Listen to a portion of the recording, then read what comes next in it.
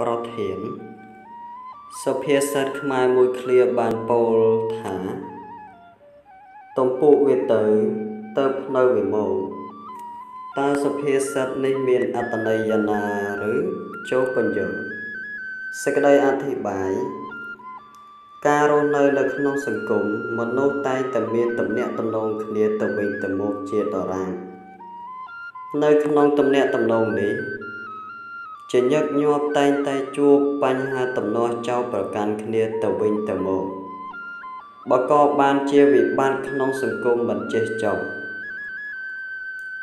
ដោយសង្កេតឃើញដូច្នោះហើយតើបុរាណបានលើកសុភាសិតមួយឃ្លាថាទំពុកវាទៅទៅភ្នៅវាមកតើសុភាសិតនេះមានអត្ថន័យយ៉ាងណាដែរឬប្រធានមានកលឹះ ដែលត្រូវបញ្យល់ពាក្យថាតំពួក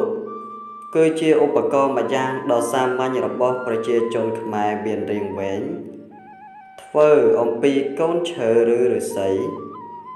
មានចុងខ្សែនិងកំណាត់កូនឈើរាងកោងសម្រាប់យកទៅបេះផ្លែឈើដែលនៅខ្ពស់ឬវត្ថុអ្វីដែលនៅឆ្ងាយពីដៃដោយឡែកពាក្យថាភ្នៅ គឺឈ្មោះផ្លែរុក្ខជាតិម្យ៉ាង មានសម្បករឹងក្រាស់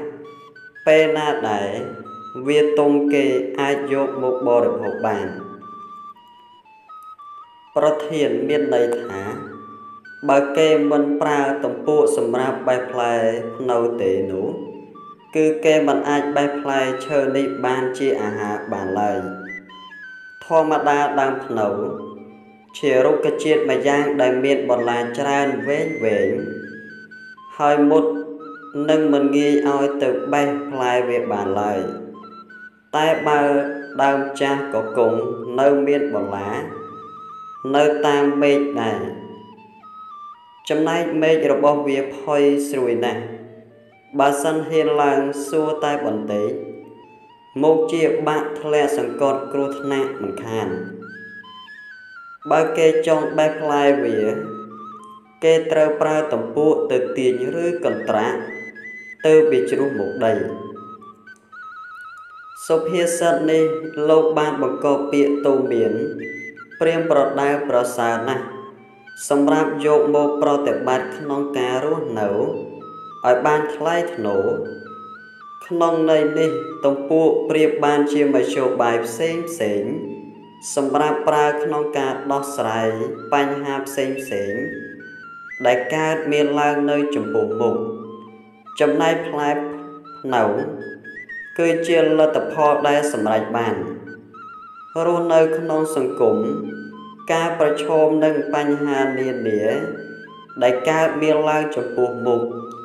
មនុស្សត្រូវចេះរកវិធីសាស្ត្រឬមធ្យោបាយណាមួយមកអនុវត្ត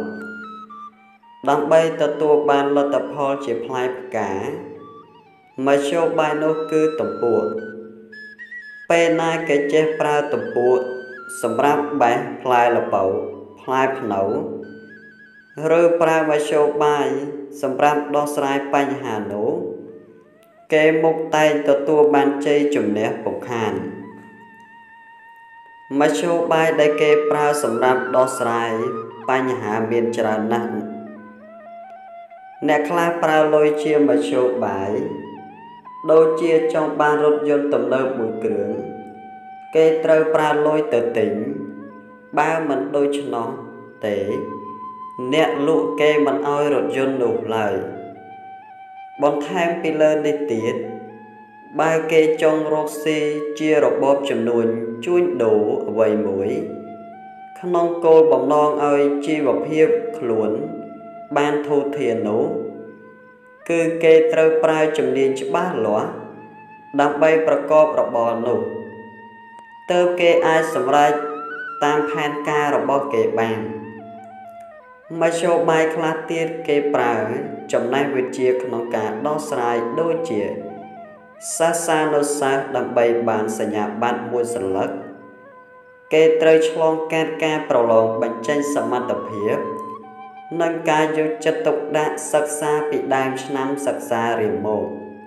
ទើបគេអាចប្រឡងជាប់សញ្ញាបត្រដោយក្តីប្រាថ្នារបស់គេបាន នៅពេលមានមធ្យោបាយខ្លះទៀតដែលគេចូលចិត្តប្រើចិត្តប្រសាដើម្បីសម្រេចផ្លែផ្កាដែរ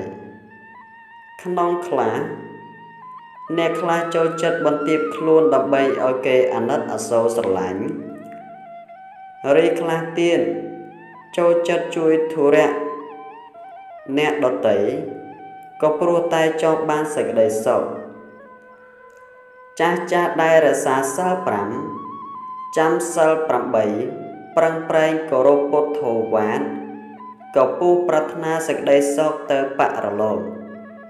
ព្រះពុទ្ធទ្រង់បានទូមានពុទ្ធបរិស័ទថាសុខតោ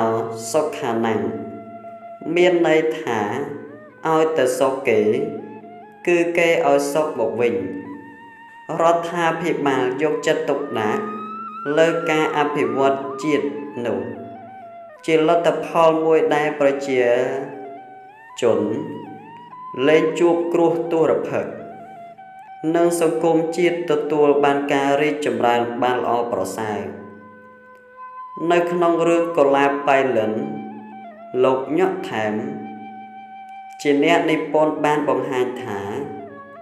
ចៅចិត្តជាមនុស្សដែលមានចរិតស្លូតបូតរៀបសារស្មោះត្រង់និងចៅវាយនេះគ្រប់ស្ថានភាពរស់នៅមានភាពម៉ត់ចត់ក្នុងការងារក៏នាំឲ្យខ្លួនទទួលបានសេចក្តីស្រឡាញ់រាប់អានពីកម្មករ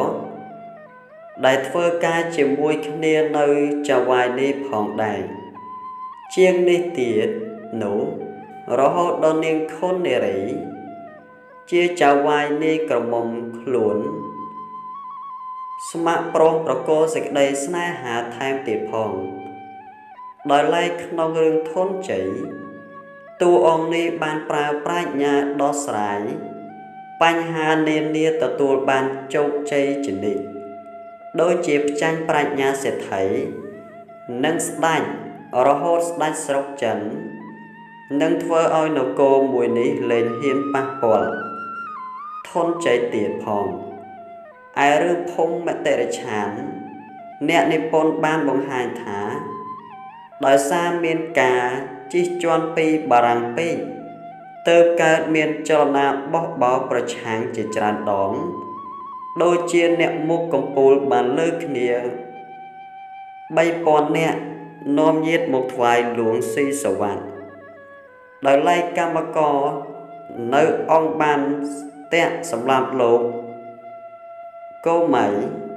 ហើយចលនាបោះបោសម្រាប់រេស៊ីដងម្នាក់ឈ្មោះបាដេគឺកើតចេញអំពីអំពើប្រៃផ្សាយរបស់គាត់ដែរ ទាំងនេះសុទ្ធតែជាដំណើរដំពួកនិងផ្លែភ្នៅទាំងអស់សរុបសេចក្តីមកផលដែលទទួលបាន គឺមានហេតុផល នៅពីខាងក្រោយជានិច្ចផលនេះហើយដែលគេចាត់ទុកថា ជាផ្លែភ្នៅដែលត្រូវជ្រុះមកដល់ដៃអ្នកបេះដោយសារតពួកជាហេតុ បើប្រើតពួកវាទៅកន្ត្រាក់វាខ្លាំងពេកអាចនឹងជ្រុះមកបង្កការឈឺចាប់ដល់អ្នកបេះពុំខានឡើយឆ្លងតាមការបកស្រាយខាងលើឃើញថា ប្រធានមានតម្លៃយ៉ាងឧត្តមនិងមានអត្តន័យស៊ីជម្រៅនៅគ្រប់សម័យកាលដើម្បីទុកជាប្រទីបអប់រំអនុជនចំនួនក្រោយ ឲ្យដើរលើផ្លូវត្រង់សម្រាប់ជីវិតឲ្យមានរស្មីដែលជាក្តីសង្ឃឹមនៃមនុស្សគ្រប់រូបនិងគ្រប់សម័យកាលសុភាសិតនេះប្រៀបដូចជាឱសថទឹកសម្រាប់លើស្ទួយចិត្តគំនិតអ្នកសិក្សាឲ្យចេះម្ចាស់ការខ្លួនឯងកាន់ការអ្វីឲ្យប្រកបទៅលទ្ធផលដែលបានមកល្អជាទីគាប់ចិត្ត